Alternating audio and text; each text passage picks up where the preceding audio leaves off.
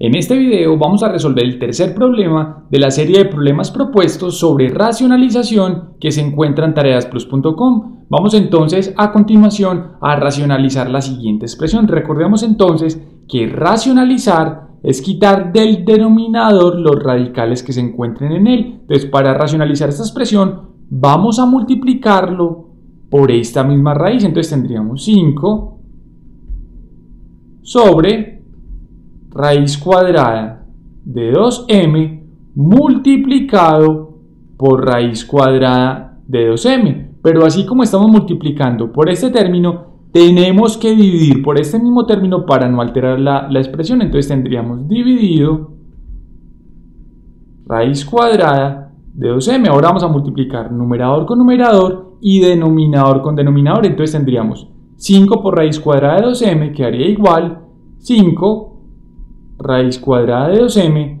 dividido entre raíz cuadrada de 2m por raíz cuadrada de 2m es lo mismo que tener raíz cuadrada de 2m elevado al cuadrado. Ahora, el numerador queda igual 5 raíz cuadrada de 2m dividido entre, observemos que podemos cancelar, podemos eliminar, perdón, este exponente 2 con este índice 2 y nos quedaría simplemente 2m y este sería finalmente nuestro resultado.